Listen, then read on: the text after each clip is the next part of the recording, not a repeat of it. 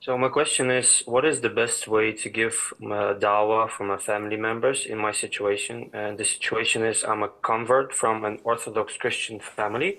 One tenth of them is like very religious, very religious. Uh, two tenths uh, may be uh, may have some connections with uh, magic and sihr, and like the majority of them don't think about God or uh, admire themselves as atheists. First of all, Akhi, this is a long, long, long topic.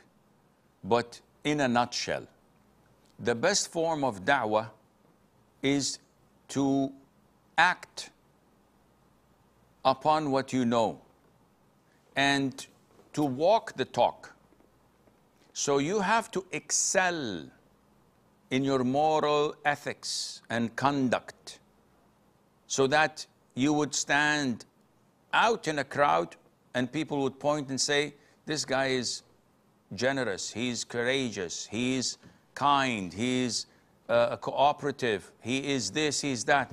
This is all changed after he became a Muslim. This is definitely attributed to his religion. This is point one. Point two, you can engage in dialogue because Allah has stated this in the Quran. And in Surah Al-Ankabut, the spider, do not debate and argue with the non with the Christians, with the people of the book, except by means of goodness and kindness, unless they are transgressors.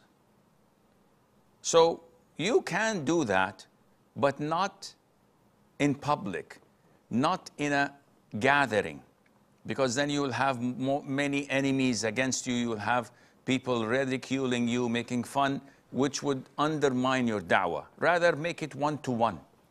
When you visit one of them on their own, you can speak to them softly, give them da'wah, show it from the Quran, from the Sunnah, from uh, uh, logic, etc. Time after time, inshallah, that would soften their hearts, and Allah knows best.